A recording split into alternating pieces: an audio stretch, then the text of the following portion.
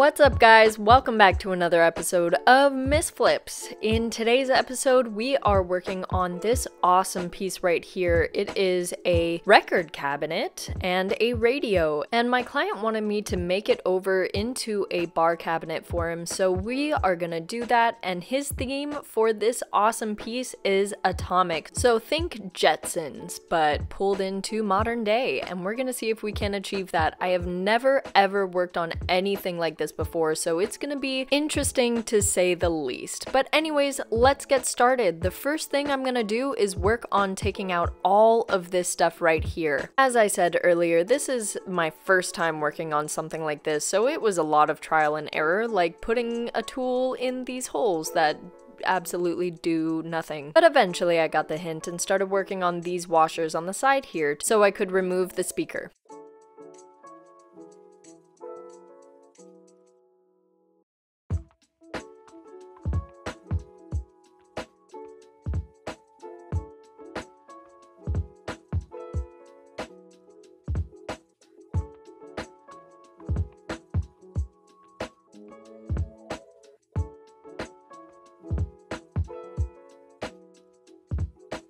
Now, before you guys get mad at me for removing all the wires and clipping and cutting and all that jazz, I just want to let you guys know that I did plug it in beforehand and tried to work the radio and it did not work. It did not even light up in the slightest. So, I am good to go to cause some, you know, havoc if you will.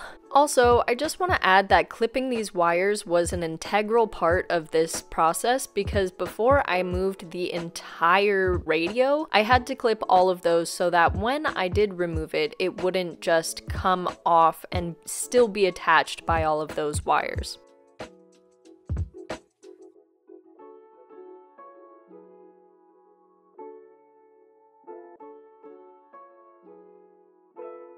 I wanted to salvage as much of the face of the radio that I possibly could, including this glass piece right here, so I went ahead and got started on removing it from the rest of the piece.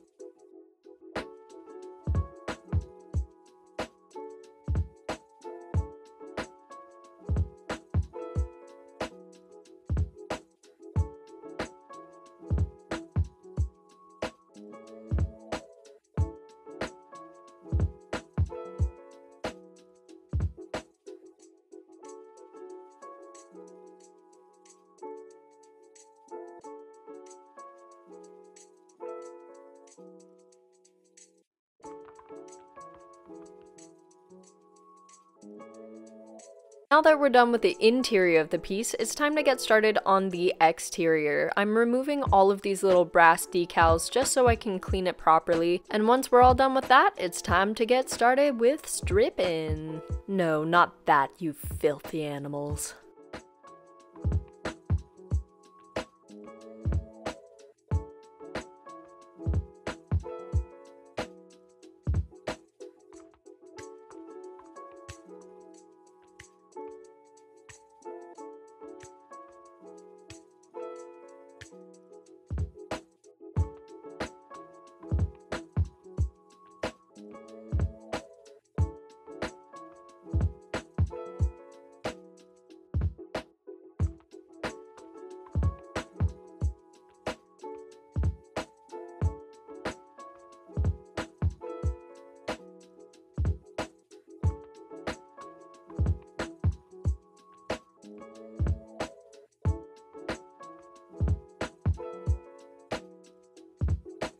This stripper is my favorite stripper in the entire world. It works amazingly well. Unfortunately, it didn't on this piece, and I'll tell you why in a second. But this stuff is so gentle that I'm using just my hand with my glove to wipe it onto the piece, and I had no issue with it eating through my glove. After applying a thick coat, I made sure to cover it up with plastic bags that I have been reusing for years. And all, honestly, all you have to do is wash off the paint stripper and it comes off totally fine. The bag's intact, so you can keep reusing these bags basically until they fall apart. It's awesome. Smart Strip works really, really fast. However, I did know that I was working with a pretty thick top coat, so I started off with 12 hours to let it just sit and marinate a little bit.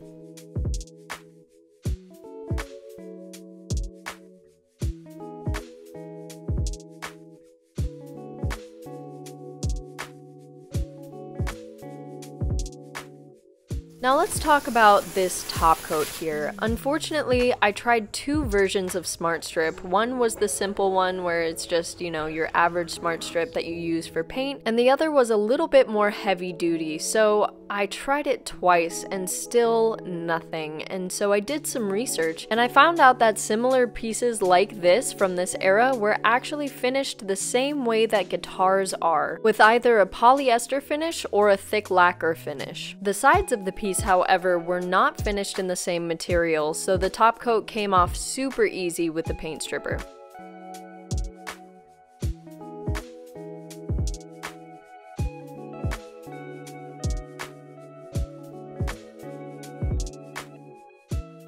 One thing that I also really love about Smart Strip is that you don't need a chemical to clean it. You actually just need a wet rag. Yeah, like just water.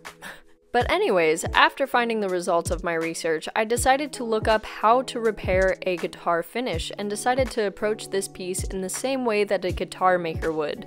So after I removed the stripper, it left all these pock marks in the finish, so I decided to get to sanding.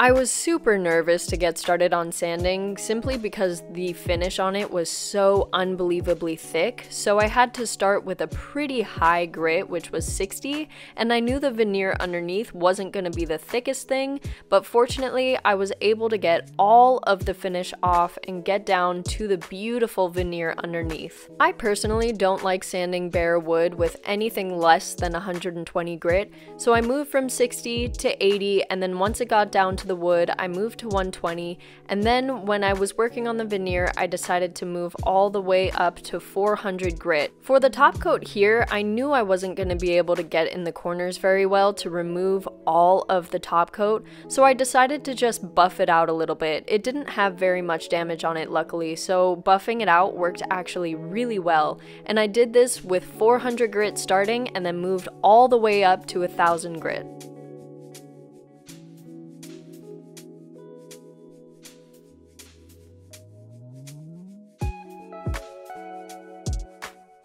After sanding, I went in with a damp cloth to make sure that all of the dust was off of the piece before I went in with a finishing coat. Usually after going over a piece with a wet cloth, you would have to sand again, but since I finished at such a high grit sandpaper, it didn't raise the grain at all. But if you are finishing with a 120 or a 200 grit sandpaper, then you might want to use tack cloth instead so that way it doesn't raise the grain and you won't have to sand again.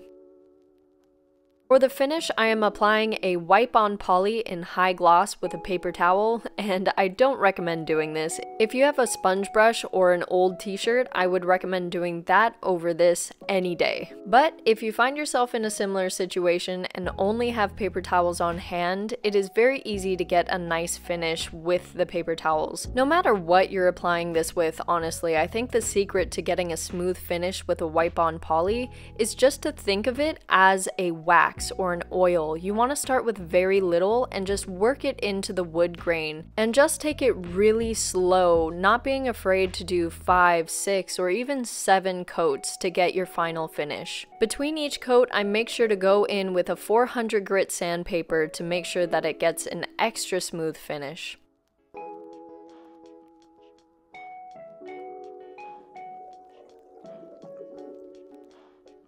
And while that dried, I went ahead and got started on cleaning the face of the radio. For this, I just used water and a little bit of dish soap to get it really nice and clean.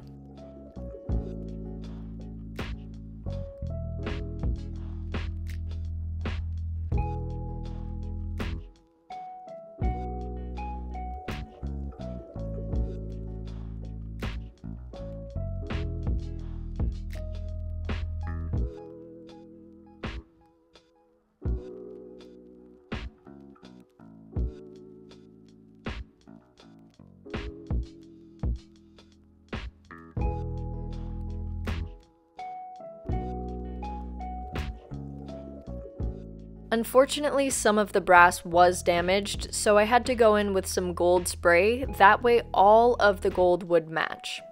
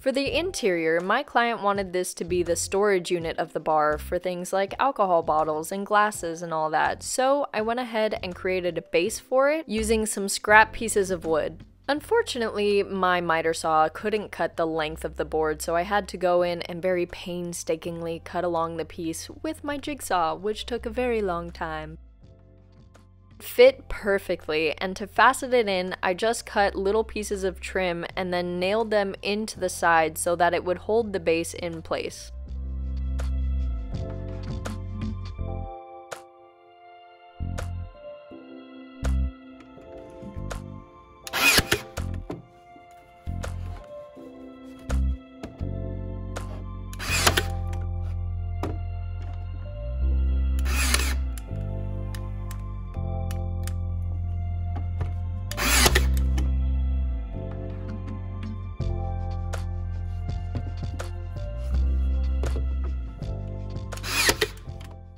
I got these legs off of Amazon and they are so adorable and they fit the style that I'm going for so perfectly well so I went ahead and sanded them down so that I could stain them to match the rest of the piece.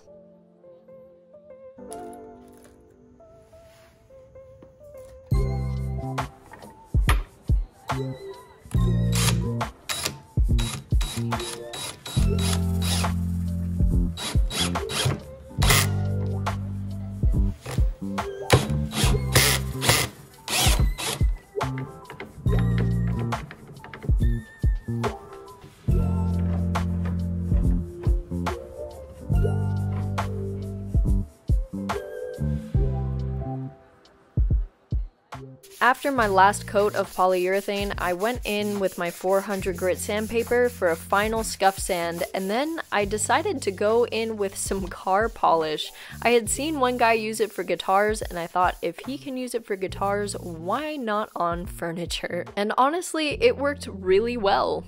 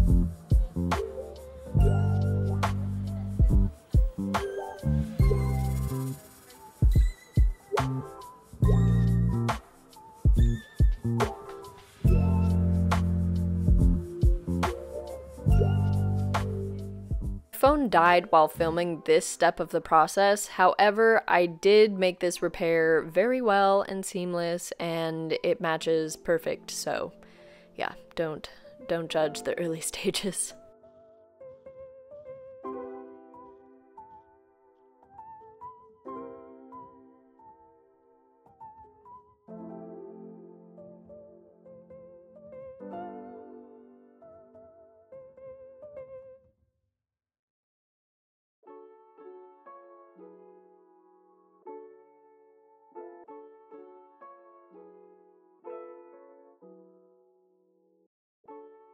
As I mentioned, my client was looking for something more atomic themed, so I pulled inspiration from these photos here for the outside design.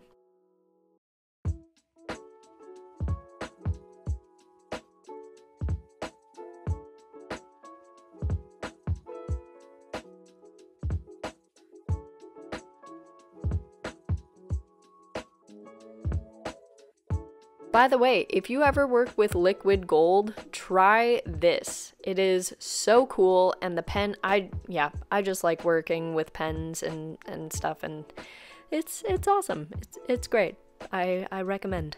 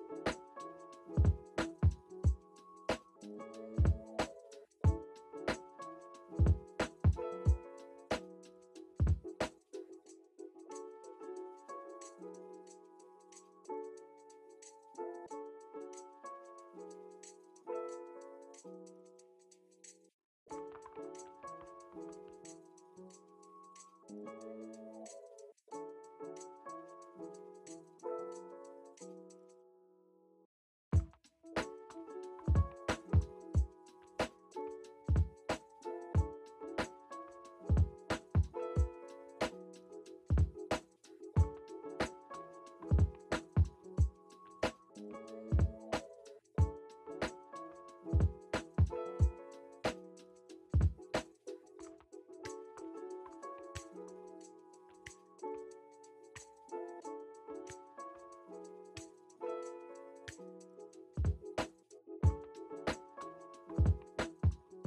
For the two side filter things, I went ahead and traced out the layout of the speaker that held it into place before. That way I could replicate the design and just hold it into place without having all the bulky technology on the inside.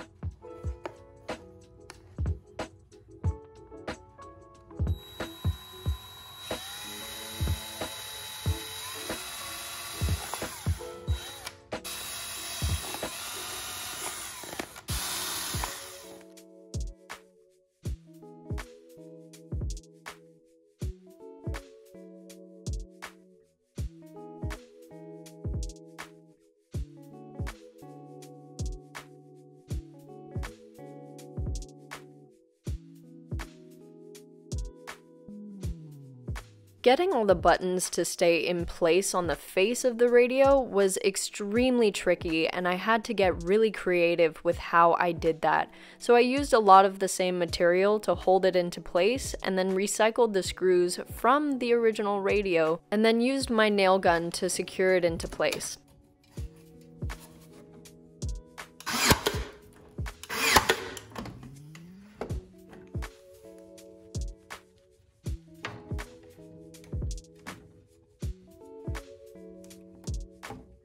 For holding the glass in place, I used these little glass frame twisty guys, and I used a lot of them. I think I used about 15 of them just to make sure that the glass was secure and wasn't going to fall out anytime soon.